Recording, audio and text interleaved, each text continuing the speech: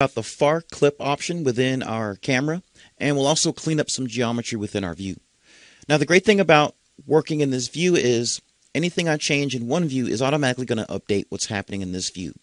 And that works great, uh, especially when we're creating views such as the one we created here, and we see how this is looking in a perspective view or in a view that we're going to use as a presentation, and I have an idea of things that I need to either get rid of or make adjustments to. In our case, what we need to get rid of is the basically the uh, plan that we have brought in here, the CAD reference file. But I also want to make some adjustments to the site so that it looks good in here as well. And let's go ahead and talk about that far clip as well. So what I want to do is I'm going to go ahead and select my view.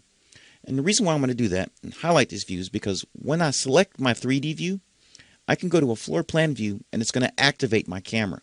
Had I not selected that view and jumped to a 3D view, I would not have this camera active. So that's a quick, easy way to make sure you can see what's going on with your camera. Now, because we have our camera selected, we have the properties of this view visible for us, right? So I can come down here and talk about this far clip offset. Now, we talked a little bit about this before. So let's kind of elaborate on it. I want to give you a better understanding of how it works. We set up our camera, and basically we're brought up with this nice triangle here. So everything that's included inside of this triangle is going to be visible within our view. Now, had we set up this view and maybe a portion of this model were outside of this triangle, that portion would not be visible in our 3D view. So that's where these extents or these boundaries come in handy. Now, our far clip offset is basically this line here, and we can adjust it by clicking and dragging with this grip or typing in a value here. Now, the benefit of this far clip offset, we really see it uh, two times. One, when you're setting up a view and things are visible and you can see all the things you want and it adds those details. But anything that's in this area, including these boundaries and your far clip, are going to be rendered once you render your image. And that can dramatically affect render time. So let's say we had a gigantic project here, right? And we had a bunch of buildings on this lot plan and we wanted to get a view. So anything that was included in this camera view here is actually going to get rendered and that can really really affect your render time. So if you want to minimize your render time, you want to be efficient about what you're rendering, but you also want to have enough detail, pay close attention to your far clip and what's inside this view area of your model. Now, understanding far clip, right? So we can actually turn this on and off. So I can say in my properties here, my view, I can say far clip active. And if I deselect this and click apply, you can see it disappears. Now what happens is, if I were to render this view, it would render every single thing that it can see on to the end of this project, which can really, really eat up your uh, rendering time if it's a giant project with elements that exist out here. So this basically creates a nice constraint and it makes forces this view to only focus on the elements that are within our little triangle. So I'm going to go ahead and click on that and you can see it'll bring it back.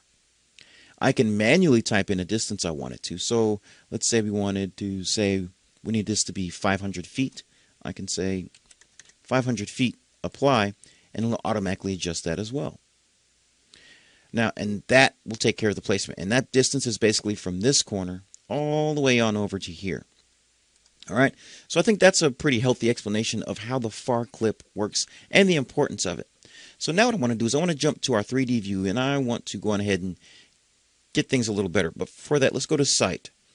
Actually, we'll go back to a 3D view and take a look at some things we can make adjustments to. So I'm going to go to my 3D perspective.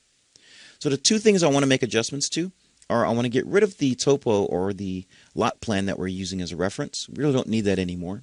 And then I want to make adjustments to my actual topo lines that are, or my topo surface, so that the surface actually populates this entire portion of my view. So I'm going to go ahead and jump to maybe a site plan view. And now that we don't need that reference anymore, I'm going to go ahead and get rid of that. So we won't need this sun path. I'm going to cut that off. I want to get rid of this. So I'm not going to hide it in the view, but I'm actually going to delete it. So I'm going to select it and red X will get rid of it. So if I jump back down to our perspective, you can see that's cleaned out. Now let's go ahead and adjust our topo while we're here as well. So I'm going to go back to site. And let's adjust our topo. And I'm going to adjust this, oh, basically bring these boundaries out to where they extend, expand back out past that way. So I'm going to grab I'm going to highlight over and I'm going to do a tab, select. I'm going to go ahead and edit the surface. And I'm just going to drag these points out.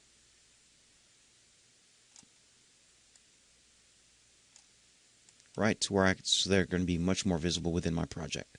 I'm going to go ahead and drag these out as well.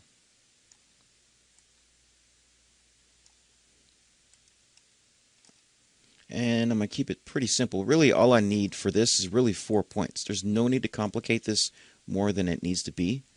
So any other points that I don't need, I'm just going to simply select them, do filter. I want to keep my boundary, but I want to go ahead and keep those points selected. And let's get rid of them. I can do it individually if I wanted to. All right, so that takes care of it. So once we hit this green check mark, it's going to automatically make that adjustment for me. I'm going to keep this in there so I have a nice reference for when we start placing trees because I may want to follow this as my trees. So now I can jump to our 3D view, perspective, and this should look a lot better, and it does.